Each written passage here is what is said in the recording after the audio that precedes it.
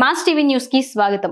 సత్యసాయి జిల్లా పెనుగొండ నియోజకవర్గం పరిగి మండలంలో ఎన్నికల ప్రచార కార్యక్రమం నిర్వహించిన పెనుగొండ నియోజకవర్గం ఎమ్మెల్యే అభ్యర్థి సవితమ్మ.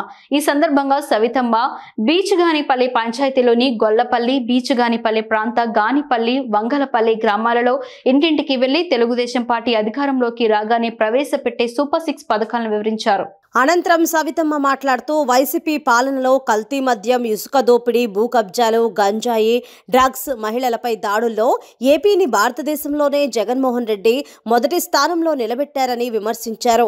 చంద్రబాబు పాలన అభివృద్ధి సంక్షేమం దేశంలోనే అగ్రస్థానంలో ఏపీని నిలబెట్టారు. టీడీపీ పాలనలో ఏపీకి పెట్టుబడులు భారీగా వచ్చాయి. యువతకు ఉద్యోగ అవకాశాలు భారీగా వచ్చాయి. గత ఐదేళ్ళలో వైసీపీ వాళ్ళు ఆంధ్రప్రదేశ్కు ఒక్క పెట్టుబడి కూడా తేలేదు.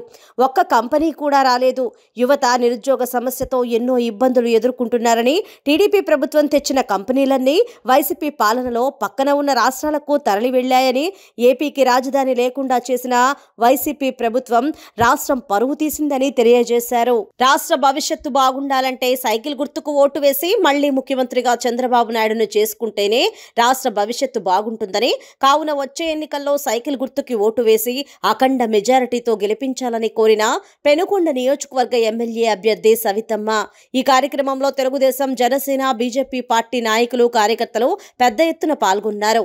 చంద్రబాబు నాయుడు ముఖ్యమంత్రి అయితేనే రాష్ట్ర భవిష్యత్తు బాగుంటుందని పాత్రగానిపల్లి గ్రామం నుంచి పది వైసీపీ కుటుంబాలు తెలుగుదేశం పార్టీలోకి పెనుకొండ నియోజకవర్గ ఎమ్మెల్యే అభ్యర్థి సవితమ్మ సమక్షంలో చేరారు.